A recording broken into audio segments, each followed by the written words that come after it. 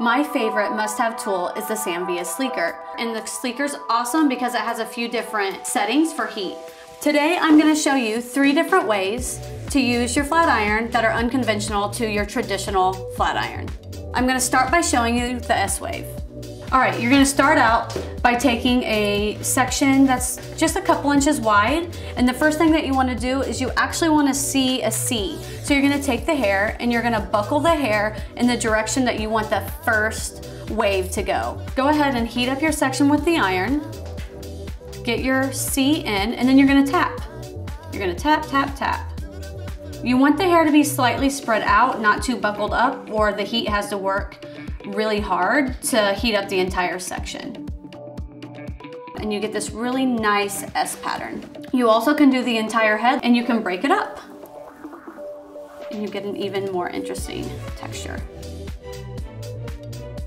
The next technique that I'm gonna show you is more of a beach wave.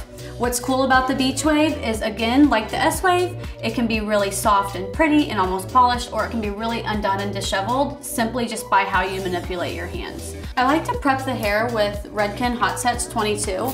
What the Hot Sets 22 does is it's gonna actually provide heat protection up to 450 degrees. It's also gonna be really great hold for those girls that say that their hair never holds curl. Okay, so what we're gonna do is we're gonna take about two to three inch wide section. So we're gonna start out do you want volume at the root or do you want it more flat at the root? In this case, because she's widest at this area of her head, we don't want volume right there. So I'm gonna take my iron, I'm gonna place it in. I've already heated the hair up once, so it works easier for us.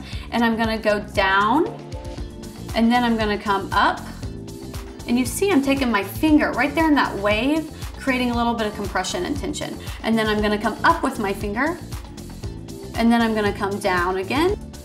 This is what you're gonna see on like Khloe Kardashian and Hayden Panettiere and all the celeb. The last technique I'm gonna show you is how to curl your hair with a flat iron.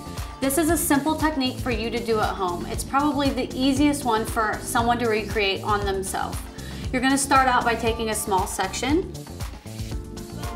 You can also take larger sections depending on how much curl, how big, how much texture you want. Be creative, you just need to do this to create the curl. So start out by heating up the hair and then we're going to do a quarter turn and slide down the hair. Once we do that, we're going to just twist, twist, twist. Do it underneath. You're gonna turn and pull out. So there's unlimited ways that you can use your Sam Villa Sleekr. You can create big curls, you can create small curls, you can create beachy waves, you can create finger waves, you can even take the curliest of hair that you want and get a pin straight look. Have fun with your flat iron, be creative with your flat iron, and tell us how you're using it.